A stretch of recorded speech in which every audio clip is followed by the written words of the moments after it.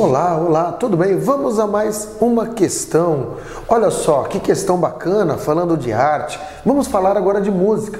Tudo bem? E aí, não se esqueçam, não se esqueçam aí, amiguinhos, amiguinhas, né? Acesse lá o nosso canal no YouTube, Enem para o Matheus Prado. Todas as dicas lá estão para você ficar mais ligado, inteirado com o Enem aí, certo? Vamos à luta aí.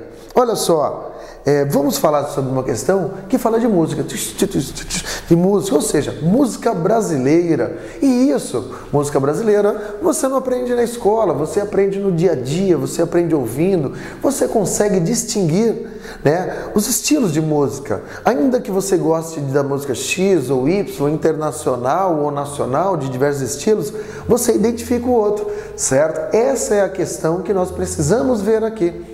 Tudo bem? A questão te pede isso. Ela vai falar sobre música. O que é música? É a combinação de ritmos que vão, os instrumentos, o período histórico, o momento, certo? O estilo, o gênero, vai falando de tudo isso.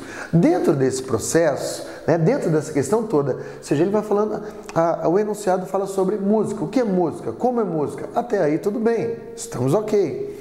E o que, que ele está te pedindo? Ele te coloca figuras de grupos musicais aí, né? Percebam.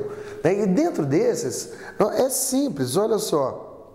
Ele está te pedindo o quê? Chorinho, para você identificar né? É, ali é, qual é o, o, o, gênero, né? qual é a relação que nós temos ali né? desses grupos em ação. É, cada um canta um tipo de música, cada um toca um tipo de música. E aí a questão que vai se encaixar como correta, como real e verdadeira é o que, gente? É aquela que diz que na figura um aí executa um gênero característico da música brasileira conhecido como chorinho, né? Porque se você olhar os outros não vão se encaixar né, não vão se encaixar dentro dos dentro da temática. Então, poxa, mas esse grupo tocando Mozart, opa, esse aí não, isso é rock. Né? Esse grupo, é, é, esse, esse, grupo de pessoas tocando né, instrumentos que eu olho que são instrumentos é, é, clássicos, né, para uma orquestra, tocando um outro gênero, você acaba percebendo que isso não se enquadra.